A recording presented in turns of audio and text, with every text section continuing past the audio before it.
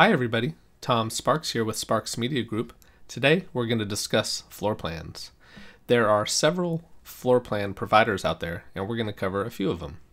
Our subject property is one we've been to a lot. I've previously recorded several videos at this property showing how to do various 3D virtual tours as well as how to photograph it. According to public record, this property is 2,053 square feet. We will use that square footage as the target number, although it should be known that public record has been known to be a bit off at times. I started my comparison by taking my Bosch handheld laser measure and measuring each room. I'll put a link in the description to the laser measure that I use. The comparison floor plans I'm going to talk about are not in any order, so we'll start with iGuide. I purchased the premium 3D tour processing for $58.47, which got me the floor plan, fixed furniture, and room areas. The total square footage reported was 2,088.62 square feet, which is close but slightly higher than public record of 2,053 square feet. Here you can see the iGuide room measurements in black and the handheld laser measurements in red. They are very close. The second floor plan I'll be comparing is Cubicasa. I use the Cubicasa app on my Apple iPhone 14 Pro Max, and this floor plan cost me $30. The process to scan the home is quick and simple. I scanned this house in about 5 minutes or less. You can order a free version without any fixed furniture, but I chose to add on fixed furniture for $15 as well as gross living area or GLA measurements for an additional $15, bringing the total order to $30. The total square footage came out to 2,198 square feet, which is slightly higher than public record of 2,053 square feet. Here you can see the Cubicasa room measurements in black and the handheld laser measurements in red.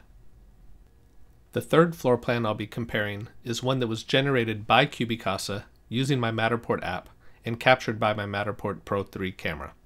I specified all that detail because although Cubicasa has their own app, they process floor plans for Matterport.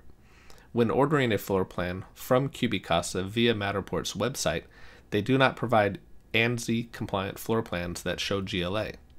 The cost of this order was $14.99 on Matterport's website, but you have to scan the house first using one of the cameras in Matterport's ecosystem. I'd highly recommend using the Pro 2 or Pro 3 camera. The square footage reported from Cubicasa on this order is 1,960 square feet, which is almost 100 square feet less than public record of 2,053 square feet. Here you can see the Cubicasa room measurements in black and the handheld laser measurements in red. The fourth floor plan I'll be comparing is one provided by using the Home 3DS Scan Home app. The process for scanning a home using the Scan Home app is pretty simple and similar to Cubicasa. I scanned this house in approximately 7 minutes or less. The cost of ordering the floor plan using the Home 3DS Scan Home app is $15.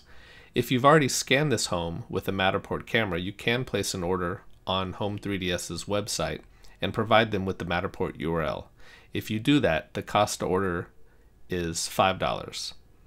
Note that you can ask them to use a 6 inch wall thickness, but they don't provide any details regarding ANSI compliant or any GLA details.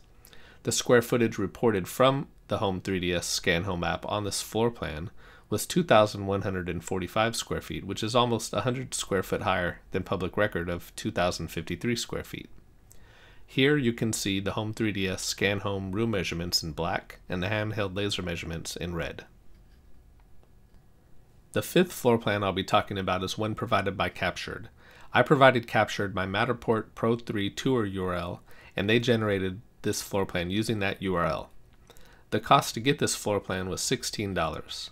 The total square footage reported from Captur3d is 2,084 square feet, which is slightly higher than public record of 2,053 square feet, and very close. Here you can see the Captur3d room measurements in black and the handheld laser measurements in red. It's worth noting that Captur3d did not provide room measurements for the laundry room, garage, and downstairs bathroom. The sixth floor plan I'll talk about is one provided by MP2FP. Again, I provided my Matterport Pro 3 tour URL and they generated the floor plan using the provided URL. The cost to get this floor plan was $25. The total square footage reported by MP2FP is 2,332 square feet, which is significantly higher than the public record of 2,053 square feet. Here you can see the MP2FP room measurements in black and the handheld laser measurements in red. The seventh floor plan I'll talk about is from Baezeni. I provided Baezeni my Matterport Pro 3 Tour URL and they generated the floor plan using that provided URL. The cost to get this floor plan was $25. The total square footage mentioned in it is 1,936 square feet, which is lower than the public record of 2,053 square feet. Here you can see the Baezeni room measurements in black and the handheld laser measurements in red. The last floor plan I'll talk about is one that I generated using the Zillow 3D Home Tour app.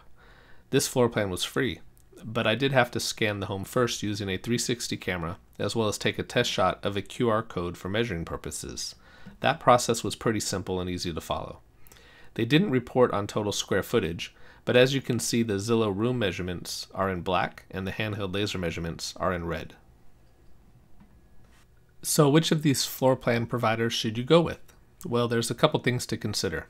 Your need, your client's needs, and your equipment. Three of these floor plan providers will provide gross living area, or GLA. That is iGuide, Cubicasa, and Baezeni. If you like to go with iGuide, you'll have to plunk down $2,599 for their camera system, the iGuide Planix Pro. An advantage of using iGuide, aside from getting a useful 3D virtual tour, is that they are ANSI Z765-2021 compliant, which is recognized by Fannie Mae. Appraisers are now required to use this ANSI standard to determine GLA and non-GLA areas, which came into effect on April 1st of 2022.